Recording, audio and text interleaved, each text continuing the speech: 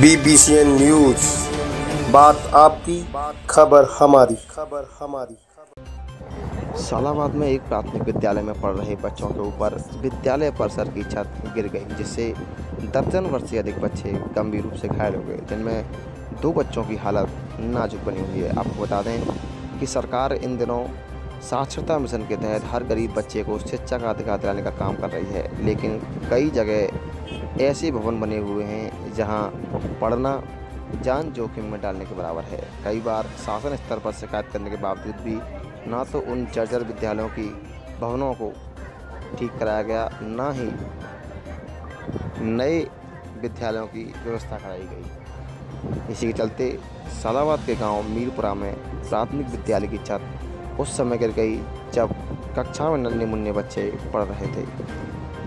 अफरा तफरी का माहौल फैल गया। कहाँ रहते हो आप? कैसे स्कूल कहाँ थे आप समय से? कैसे लगी आपको? क्या कर रहे थे? कैसे दीवार गिरी है स्कूल की दीवार गिरी है? तो पुरानी जजर दीवार है क्या है?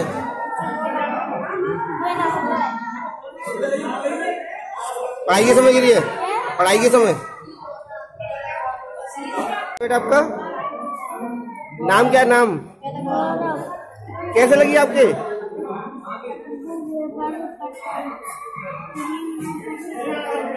स्कूल में? और गाँव के प्रधान है और मेरी धर्मपत्नी समय प्रधान है। में जो स्कूल गिरा है क्या मामला रहा है? उसकी जो बिल्डिंग बनी हुई है वो जज्जर भी बिल्कुल बिल्डिंग बनी हुई है खराब बिल्डिंग बनी हुई है। उसकी बार बार शिकायत की है प्रशासन ने कोई सुनवाई नहीं की ना आज तक कोई बिल्डिंग बनवाई। उसकी जो बाउंड्री पड़ी है वो भी अधूरी पड़ी है। दो तीन कमरे बने तीनों कमरों की छत बेकार पड़ी हुई है।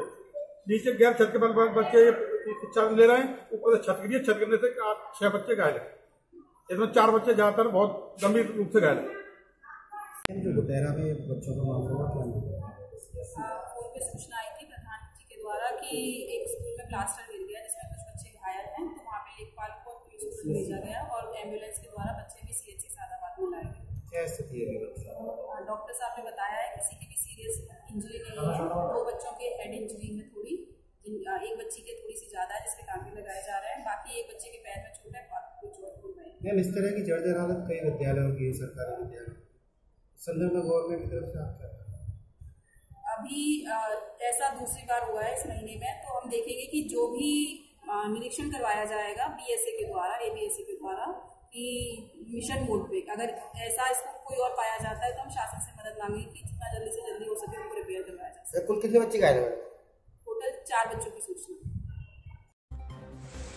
श्री बालाजी कंप्यूटर्स, मछली वाला शोरूम चौराहा, पसरट्टा बाज़ार, हाथरस। अगर आपको चाहिए अर्जेंट रबड़ की मोहरें तो आए हमारे प्रतिष्ठान, मछली वाला शोरूम पसरट्टा बाज़ार, चौराहा, हाथरस। हमारे यहाँ visiting card letter pad bill book pamphlets poster sticker banner आदि की छपाई की जाती है।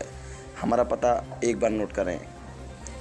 श्री बालाजी कंप्यूटर्स, मछली वाला शोरूम चौराहा पसरट्टा बाज़ार हाथरस मछली वाला शोरूम चौराहा पसरट्टा बाज़ार हाथरस अगर आपको चाहिए फ़िश एक्वेरियम या फिर रंग बिरंगी मछलियाँ तो आएँ हमारे शोरूम श्री बालाजी कंप्यूटर्स पसरट्टा बाज़ार चौराहा।